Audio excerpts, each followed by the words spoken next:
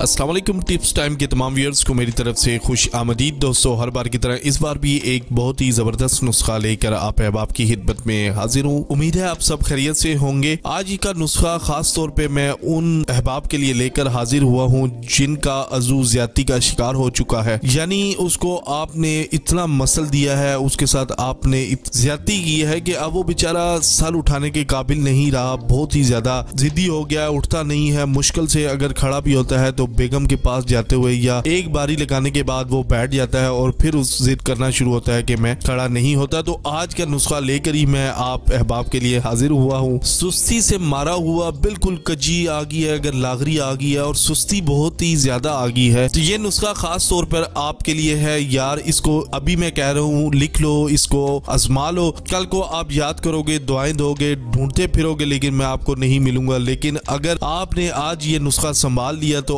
आप मुझे बहुत देर तक याद रखो। जब जब आपके जू का मसला होगा, आप इसको इस्तेमाल करोगे, मुझे दुआएँ दोगे। तो आइए जल्दी से दोस्तों नुस्खा आपके हवाले कर देता हूँ। ज़्यादा लंबी चौड़ी तमहीद नहीं बांधता। लेकिन उससे पहले एक ही रिक्वेस्ट करता हूँ कि टिप्स टाइम के ऑफिशियल चैनल को सब्सक्राइब कर लें। बेलाइकन के बटन को प्रेस कर लें ताकि आने वाली तमाम वीडियो आप तक आसानी पहुँच सके और कोई भी वीडियो आप मिस न कर सके। तो सबसे पहले तो दोस्तों आपने तुख में गंदना लेना है। यानी जैसा कि आप स्क्रीन पे देख रहे हैं, किसी भी पंसार से आपको मिल जाएगा। दूसरे नंबर पे आपने फिलफिल यानी मिर्च स्या लेनी है, हम वज़न आपने ले लेनी है में गंदना और काली मिर्च। और इसी तरह आपने उसको हम वज़न शहर में मिलाकर कजीब पर मलना है, यानी उसको अच्छे तरीके से आपने अजू की मालिश करनी है, उसको अच्छे तरीके से लगा लेंगे। जब लगा लेंगे तो थोड़ी देर आपने अपने ऊपर बर्दाश्त रखना है और उसके बाद नीम गर्म पानी के साथ धोने के बाद कर बेगम के पास चले जाना है, याद रहे कि ये नुस्खा बहुत ही ज़बरदस्त है, एकदम टाइट करेगा। आप एकदम से यकदम पर आ जाएँगे कि यकदम आप अंदर करने के तलबगार रहेंगे। तो मुझे अब दीजिए इजाज़त दोस्तों, में मिलता हूँ कल इसी तरह के नए और बेहतरीन नुस्खे के साथ। दुआओं में याद रखें और अपना बहुत सारा ख्याल रखें। तब तक के लिए अल्लाह हाफिज, गुड बाय।